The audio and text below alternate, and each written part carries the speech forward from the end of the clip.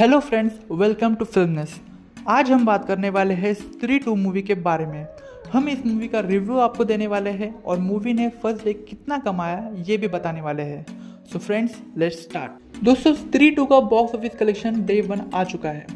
2018 की hit horror comedy film स्त्री का मच अवेटेड सीक्वल गुरुवार को इंडिपेंडेंस डे के दिन लॉन्च हुआ। इसे डायरेक्ट किया था अमर कौशिक ने और लीड रोल में हमें श्रद्धा कपूर, राजकुमार राव, अपार शक्ति खुराना, अभिषेक बैनर्जी और पंकज त्रिपाठी देखने को मिले। फ़िल्म ने अपने पहले दिन में ही एक बम्पर ओपनिंग की है दोस्तों।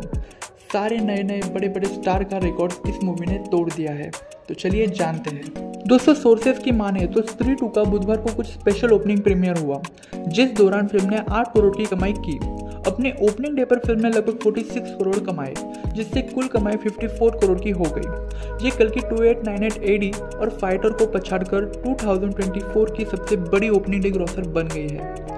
ये नंबर रिकॉर्ड ओपनिंग है। ये देखते हुए कि स्त्री को भारत में 54 करोड़ की कमाई करने में 6 दिन लगे थे।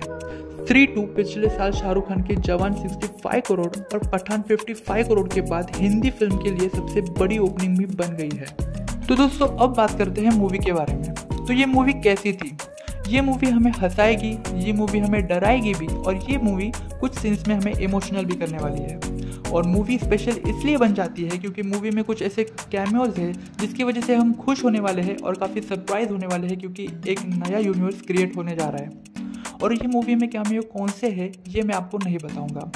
जिसने ये मूवी देखी है, ये समझ लिए होगी कि ये कैमियो कौन से है। और जिसने नहीं देखी, मैं आपको रिकमेंड करूँगा ये मूवी ज़रूर देखिएगा काफ़ी इंटरेस्टिंग और फनी मूवी है और कुछ सीन में हमें हॉरर फील भी होने वाला है दोस्तों। क्योंकि मूवी में सर्कट का आतंक काफ़ी डरावना है दोस्तों। और स्त्री हमें इसमें से कैसे बचाती है, ये देखना भी काफ़ी इंटरेस्टिंग होने वाला है। और स्त्री की मदद के लिए कौन कौन आता है, ये देखना भी काफ़ी इंटरेस्टिंग और सरप्राइज़ होने वाला है दोस्तों। तो मूवी ज़रूर देखेगा तो फ्रेंड्स जिसने इस मूवी को देखा है, वो कमेंट में ज़रूर बताएगा कि ये मूवी आपको कैसी लगी। और जिसने नहीं देखी तो इस मूवी को जाकर ज़रूर देखना दोस्तों। सो फ्रेंड्स मिलते हैं हम अगले वीडियो में।